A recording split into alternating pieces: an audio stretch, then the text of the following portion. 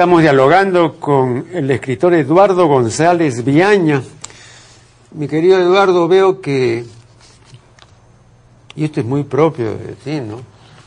Y explicable, no sé si, será admisible siempre, pero es muy explicable y, y- he comprobado que te has tomado ciertas libertades que estarían pues eh, sujetas a, controversia. Sí. Pero de repente es parte, pues, ¿no? de- de- del oficio de escribir, ¿no? Eh, Eh, yo me las tomaría todas porque me gusta, yo creo que el oficio de escribir es el oficio de la libertad. Pero, claro, pero en ¿por qué este no? caso, pero en este caso te quiero plantear cosas bien concretas. Por ejemplo, me pregunto, me he preguntado leyendo tu obra, ¿no? ¿Qué es el anacronismo? Y entonces digo, el anacronismo es un error de la cronología que consiste en atribuir a una época realidades, situaciones o conductas pertenecientes a otra época. ¿No?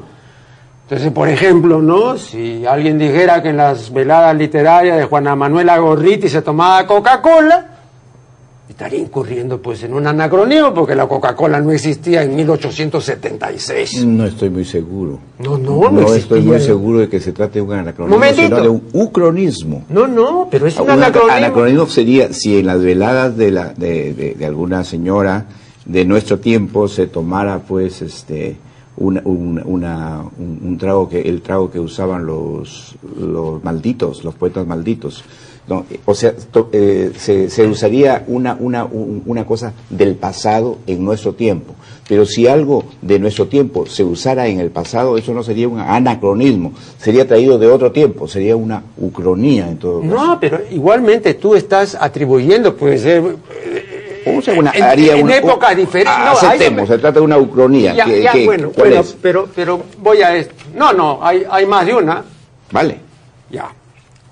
Te menciono algo porque esto no puede haber ocurrido, pero se te puede haber ocurrido. Y eso estaría bien, pues, ¿no? Eh, en- aquí en la página 114, el capitán Guerra devora, porque tú no dices que come, sino que usas el verbo devorar, o sea, comer con ansia y apresuramiento, tragar. Dices que devora un pan con pollo. Mi estimado Eduardo, en 1910 nadie comía pan con pollo ni en Trujillo, ni en Lima, ni en ninguna parte. El uso del pollo, ya extenso, y que llegó a popularizarse, es un fenómeno de mediados de la década de 1960. Entonces yo te digo, ¿no? Por eso te decía, eso pertenece a una etapa posterior, muy posterior, pero tú lo retrotraes 50 años. Pues puede ser una libertad que te has tomado, pero yo no creo que nadie en Trujillo comiese pan con pollo en esa época. No, sinceramente no.